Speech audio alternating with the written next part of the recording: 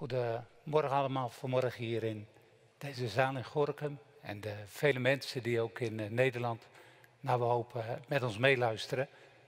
En ook Gorge in eh, Ecuador. Ik ga zo het een en ander in het Spaans tot hem zeggen. Ehm, vanmorgen gaat Gorge een lezing houden voor ons aan de hand van de tekst die we lezen in 1 Timotheus 4, vers 13. De bedoeling was dat Gorge hier in persoon aanwezig zou zijn, maar door het hele COVID-gebeuren was dat niet mogelijk. En hij kreeg zijn visum niet rond en we hebben besloten om het op deze manier te doen. Betekent dus dat u uh, Gorge zo ziet zitten in zijn woonkamer thuis, in het huis van zijn ouders. En uh, Gorge heeft een lezing voorbereid. Hij spreekt die uit in het Spaans en ik zal het voor u vertalen. Ik ga nu Gorge uh, introduceren bij u in het Spaans, zodat hij ook weet dat we hier met elkaar zijn. Buenos días, hermano Jorge, ¿cómo está? ¿Puede escuchar mi voz? Goedemorgen. Goedemorgen. Gracias, Jorge. Buenos días. Buenos días, hermano. Sí, gracias a Dios. Estoy escuchando bien. Oké, okay, excelente. Jorge hoort ons, die wenst ons een uh, goedemorgen. ¿Qué hora es ahorita, Jorge, in Ecuador? 3 de la mañana con 46 minutos. Oké, okay, om u maar even een idee te geven. Het is kwart voor vier s'nachts in uh, Ecuador. Um, dus het is wel offer wat Jorge voor ons brengt om hier uh, aanwezig te zijn. Jorge, muchas gracias por su presencia, por uh, la manera que nosotros estamos juntos, por este video. Sabemos que tú estás lista y yo también, y podemos comenzar con su mensaje. Ok, aunque un poquito dormido todavía, pero vamos a empezar, ¿sí? Bueno, Jorge is nog wat uh, slaperig, maar hij, uh, hij wil gaan beginnen. Eh, ¿Me avisa? Sí. Ja, excelente. Ok.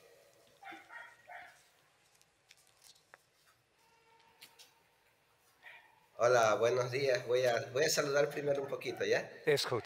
Ja, Jorge ja, die okay. even bueno, u groeten. Buenos días a todos quien escucha, quien observa.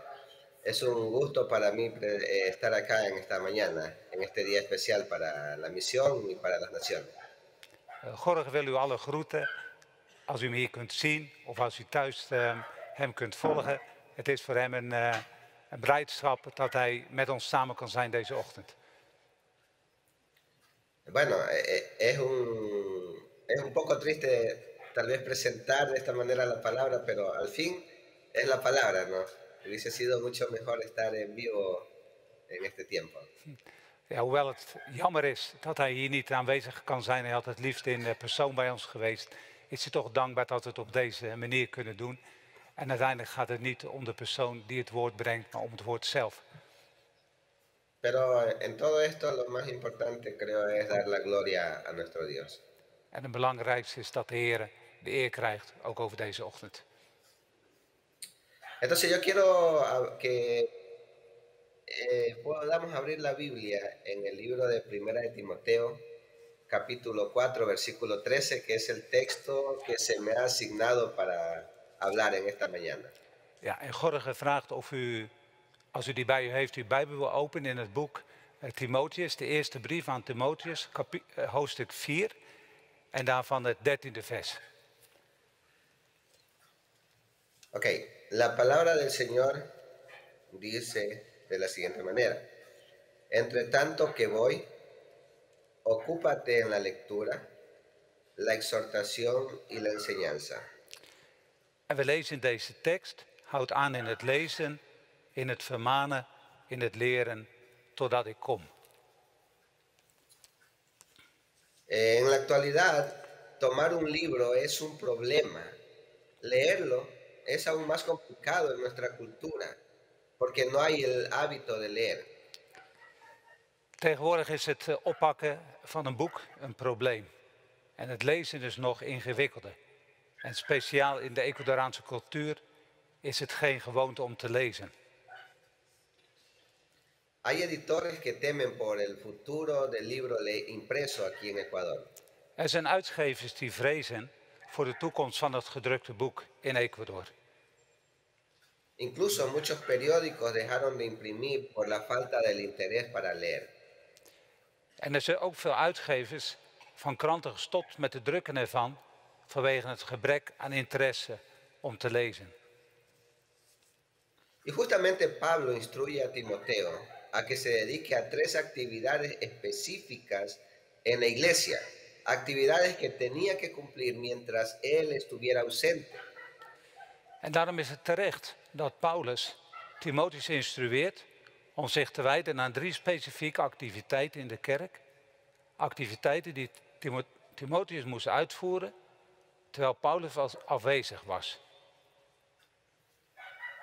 Y su instrucción, la instrucción de Pablo, tiene que ver con la lectura, la exhorta- exhortación y la enseñanza. En de instructies van Paulus heeft te maken met het lezen, het vermanen en het onderwijzen. Ahora, este es un llamado a aprovechar nuestro tiempo mientras servimos a Dios hasta que Cristo venga.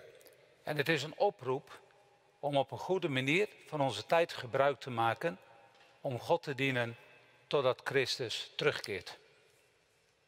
El texto de hoy se refiere a las tres áreas de las cuales cada uno de nosotros en nuestras propias vidas debemos estar pendientes. En de tekst van vandaag verwijst naar drie aandachtsgebieden waarvan ieder van ons zich bewust moet zijn. Y de estas tres áreas quiero hablar esta mañana. La instrucción de Pablo a Timoteo es, ocúpate de estas cosas. En over deze drie zaken wil ik vanmorgen spreken met u. Paulus' instructie aan Timotheus is aanhouden in deze dingen. Ese es el tema de esta mañana. Ocúpate de estas cosas. ¿Cuáles son estas tres cosas? Ocúpate de la lectura, ocúpate de la exhortación, ocúpate de la enseñanza. En dat is het onderwerp van deze ochtend. Aanhouden in deze dingen. En wat zijn deze drie zaken? Houd aan in het lezen, houd aan in het vermanen, houd aan in het onderwijzen. Si Dios ha permitido estar presente en esta mañana, que Él bendiga su palabra. En we hopen en bidden dat de Heer zelf aanwezig is in ons midden en dat Hij zijn woord mag zegenen. Entonces, voy a hablar de la primera eh, cualidad o de la primera instrucción que Pablo le da a Timoteo. Ocúpate de la lectura. Vervolgens wil Gorge beginnen om met ons na te denken over de eerste instructie die Paulus aan Timotheus geeft. Houd aan in het lezen. Por el contexto en que fueron dichas estas palabras, es probable que se refiera a la lectura pública de las escrituras, es decir, en la congregación. Vanwege de context waarin deze woorden worden gezegd, is het waarschijnlijk dat het verwijst naar de openbare lezing van de schrift. Dus dat wil zeggen in de gemeente. Y esto era importante por lo complicado para tener los rollos impresos, aunque por lo general cada iglesia tenía una copia de ellos. En dat was belangrijk omdat het bijna onmogelijk was voor iedereen persoonlijk in huis rollen met teksten te hebben. Maar over het algemeen beschikte iedere gemeente wel over een exemplaar van een rol van de Bijbel. Y eso facilitaba el hecho de ocuparse de la lectura en la congregación. En dat bezit vergemakkelijkte het aanhouden, het uitvoeren van het lezen in de gemeente. Y es cierto que el énfasis de Pablo esté puesto en leer en el culto público debido a la falta de la Biblia en los hogares. En het is waar dat Paulus de nadruk legt op het lezen in het openbaar, in de eredienst, vanwege het ontbreken van Gods woord thuis. Pero eso no significa que descuidemos la lectura personal y familiar, ya que nosotros tenemos la Biblia a nuestra disposición. Maar dat betekent niet dat we onze persoonlijke Bijbellezing en het lezen in, in ons gezin mogen verwaarlozen, omdat we de Bijbel tot onze beschikking hebben. Entonces, la tarea de ocuparse de la lectura es para que no nos quedemos solo con lo que sabemos. Dus de opdracht om aan te houden in het lezen is noodzakelijk, zodat we niet alleen blijven bij wat we nu weten. Y es entendible porque en nuestro medio la gente no tiene el hábito de estudiar la palabra, se conforma con lo básico. En het is begrijpelijk en noodzakelijk in onze omgeving in Ecuador, want het is niet de gewoonte dat de mensen veel de Bijbel bestuderen. Ze nemen genoegen met enige basiskennis.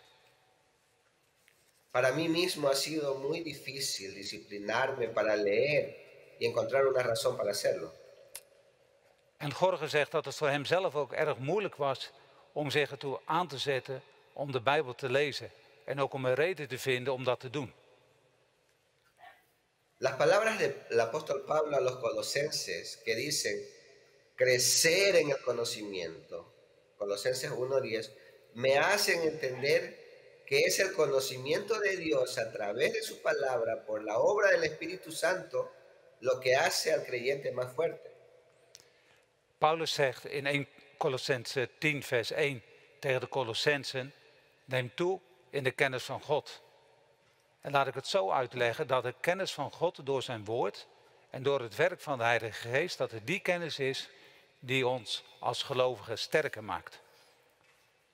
Y por eso la prioridad de leer la palabra de Dios. En vandaar de prioriteit en de noodzaak van het lezen van Gods woord. Aquí en Ecuador y tal vez en sus países sucede que los cristianos saben más de novelas, de fútbol, de moda, de tecnología que de la Biblia. Hier in Ecuador, en misschien is het hetzelfde in Nederland, komt het voor dat christenen meer weten van romans, voetbal, mode en technologie dan de Bijbel. ¿Por qué? Porque no se preocupan de la lectura, sino de otras cosas. Pero el consejo de Pablo es, ocúpate de la lectura. En waarom is dat? Dat is omdat ze niet aanhouden in het lezen. Ze maken zich druk met andere dingen. Maar Paulus' advies is duidelijk. Houd aan in het lezen. En lo personal entiendo la importancia de la educación teológica. Persoonlijk begrijp ik nu het belang van theologisch onderwijs. Los creyentes de mi país debemos ocuparnos más de la lectura porque necesitamos crecer en el conocimiento. De gelovigen in mijn- land, in Ecuador, moeten zich meer bezighouden met het lezen van de Bijbel. Omdat we moeten groeien in kennis. Y es cierto que muchos son disciplinados y, anima- y animo a ellos a seguir así. En het is waar dat velen gemotiveerd zijn om de Bijbel te lezen. En ik moedig ze aan om door te gaan. Pero hay la necesidad de ocuparse de la lectura.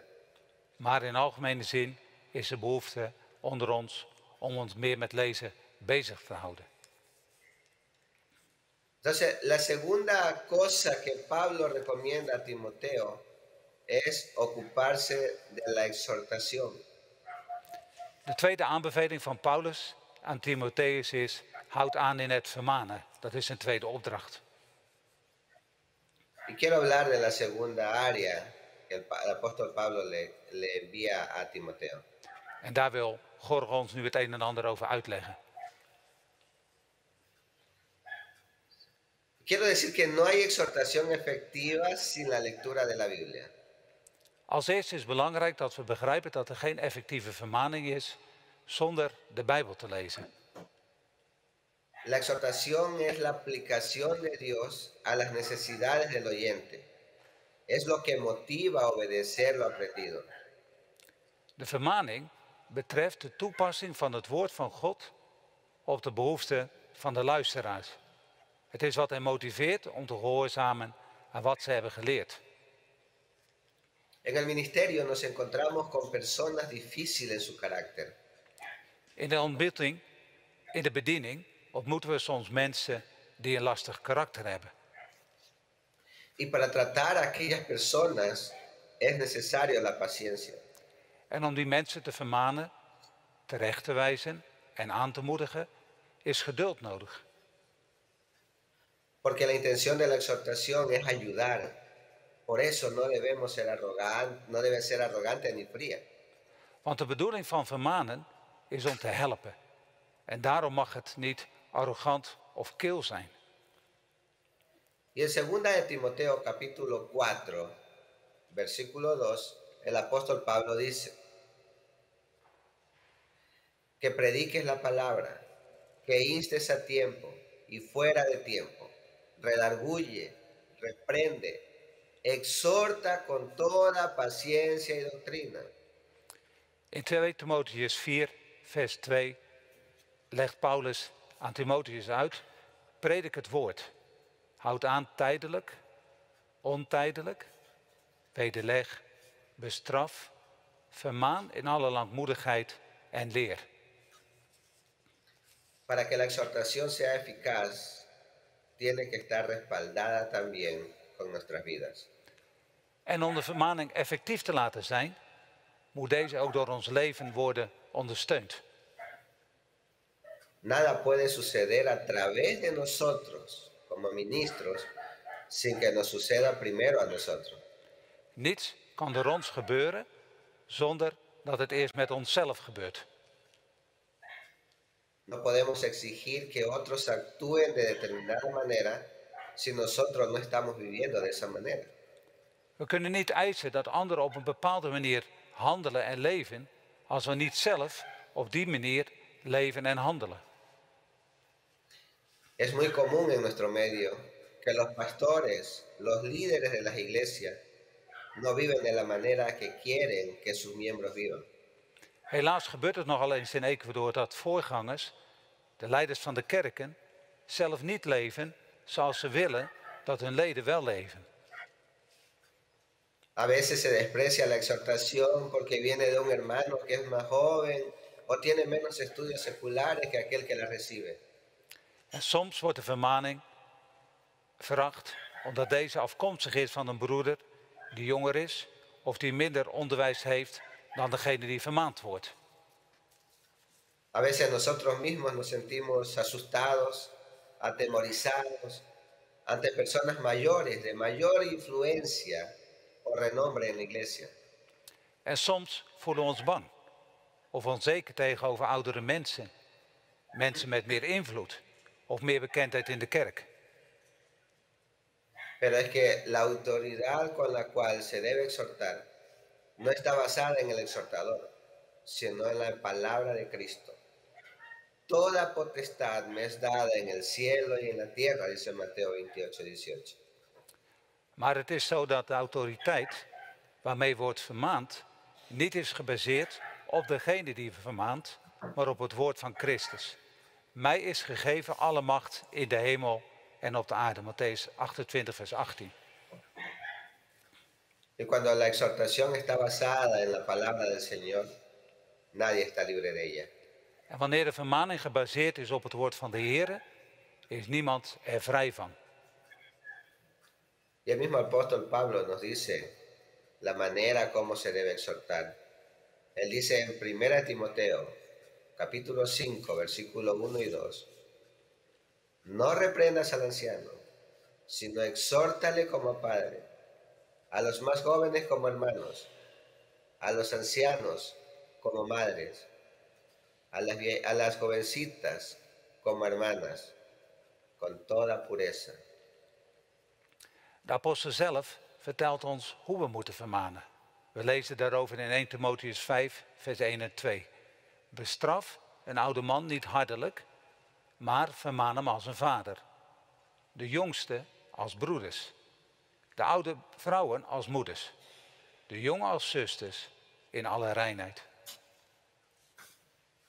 La instrucción del apóstol Pablo a Timoteo es ocúpate de estas cosas. Ocúpate de la lectura, ocúpate de la exhortación, pero también ocúpate de la enseñanza.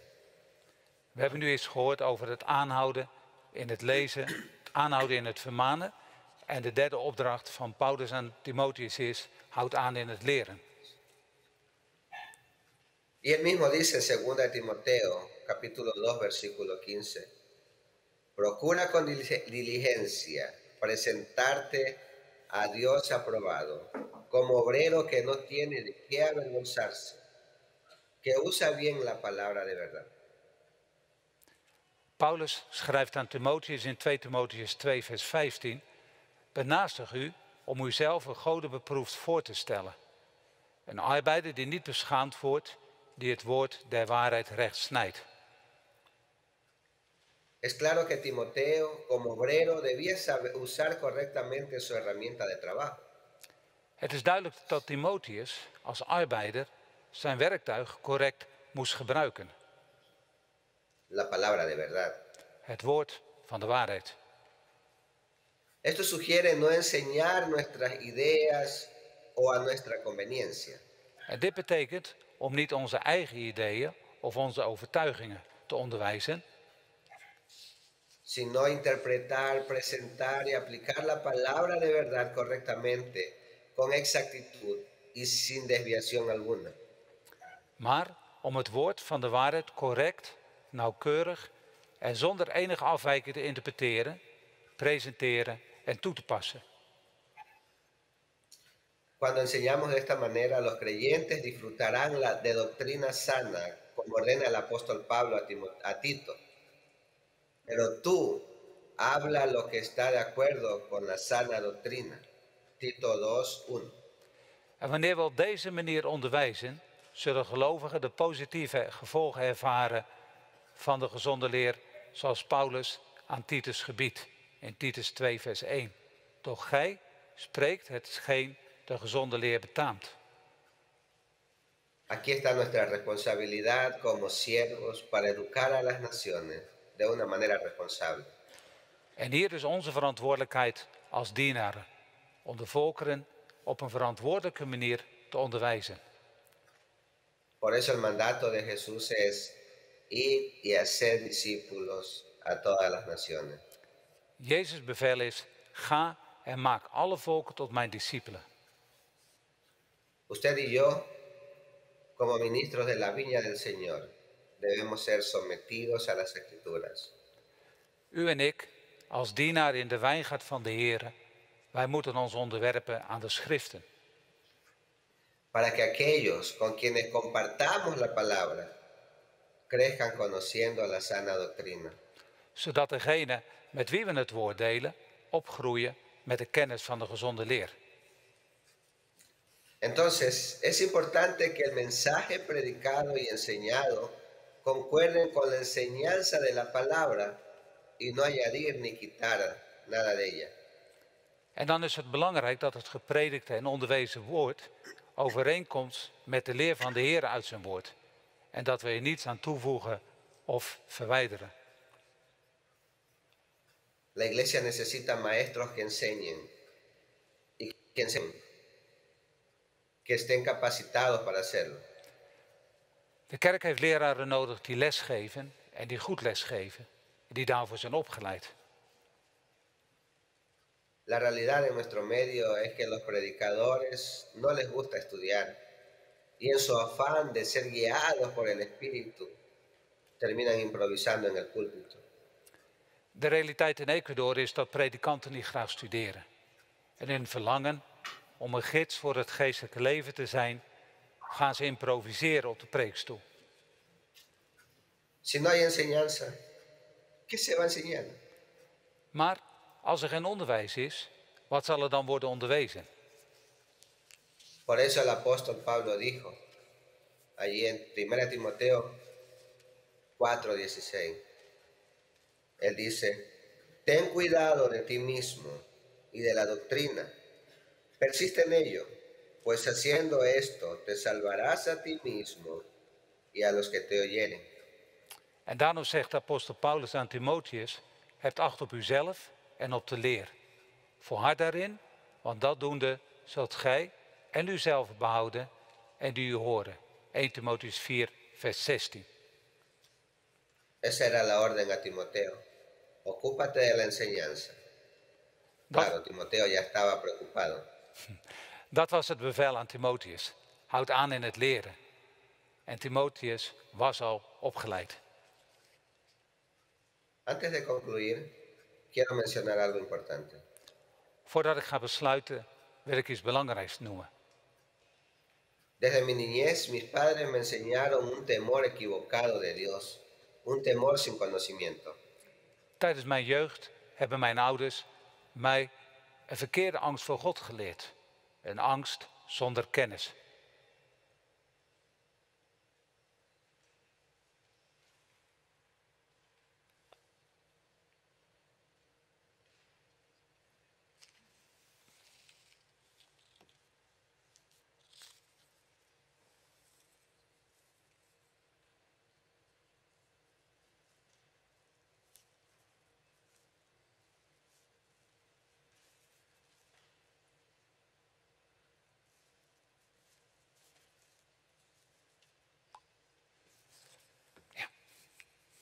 Ya, Ya. ok.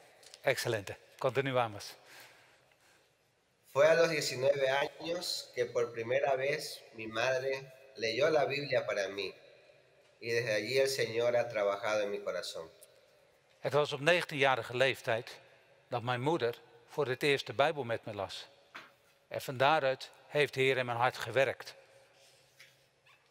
A los 24 años, la lectura de la palabra tomaba fuerza y sentí por primera vez la exhortación de la palabra.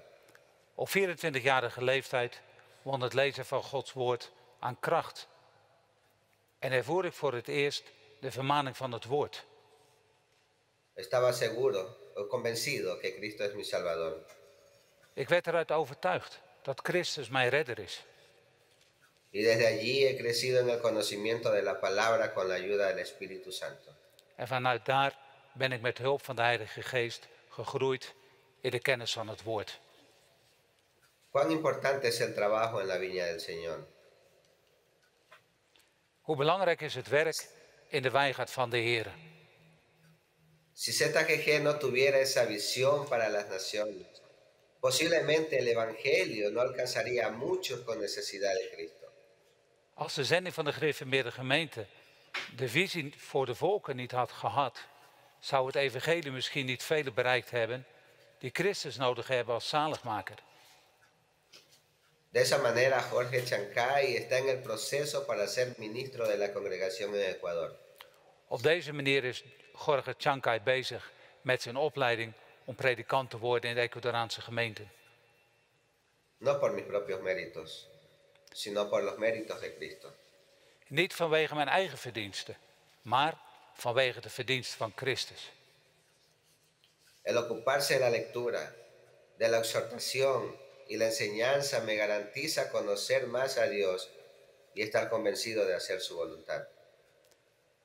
Het is duidelijk dat de aanbeveling van Paulus aan Timotheus een weerspiegeling is van mijn eigen leven. Het is voor mij ook een, een oproep om door te gaan met lezen.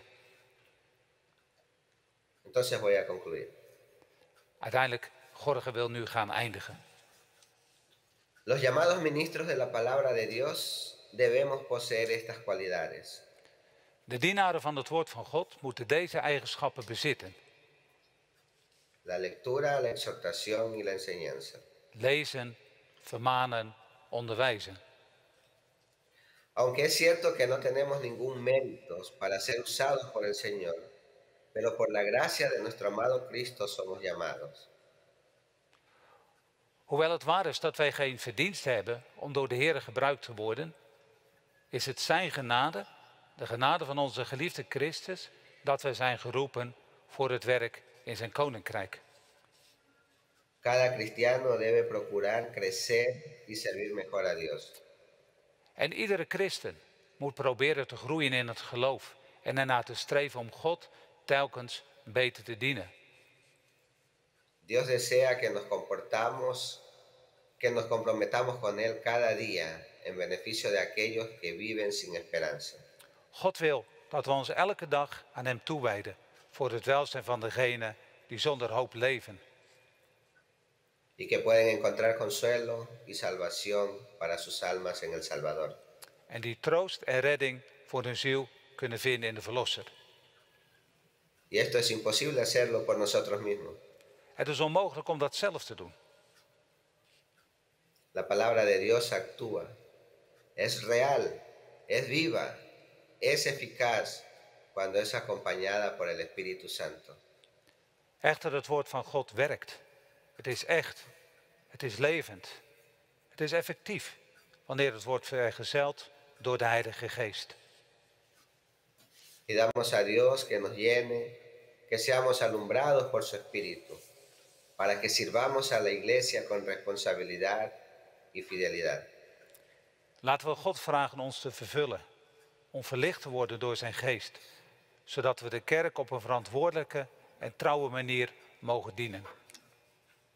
Usted, miembro de la iglesia de Jesucristo, niño, joven, mujer, hombre, latino, europeo, africano, asiático, U, een lid van de kerk van Jezus Christus, kind, jeugd, vrouw, man, inwoner van Latijns-Amerika, Europeaan, inwoner van Afrika, Aziat. usted que predica, usted que escucha, ocúpese de la lectura, la exhortación y la enseñanza. Amén. U die preekt, u die luistert, houdt aan in het lezen, de vermaning en het onderwijs. Amén. Hermano Jorge, muchas gracias por su contribución. Estamos muy agradecidos por su presentación, por sus palabras. Que Dios les bendiga, usted, hermana Erika, su familia, su madre, hermana Mercedes, hermano Segundo. Yo sé que Segundo está muy cerca. Hermano, muchas gracias por todo y hasta pronto. Gracias hermano, saludos, bendiciones. Jorge wens ons ook al het goede toe. Ciao. Dag. Dag. Dan, als het goed is, gaat er nu achter mij van alles en nog wat veranderen, begrijp ik, en schuiven. Ik kan dat zelf niet zien. Ehm, we gaan nu door naar het volgende punt van de agenda. We gaan weer zingen samen. En dan is ook het moment van de collecte. Zoals u begrijpt, is zendingswerk is voor alles Gods werk. Maar het is ook kostbaar werk, het is duur werk. En zoals we hier vandaag samen zijn, maar ook u thuis, wordt u opgeroepen om uw offer te brengen voor het zendingswerk. En dat kan beginnen met een financieel offer, maar gaat u ook al, vooral door in uw gebed. Ook voor Gorge, ook voor Dani, in het proces waarin ze zitten. Ik dank u wel voor uw aandacht.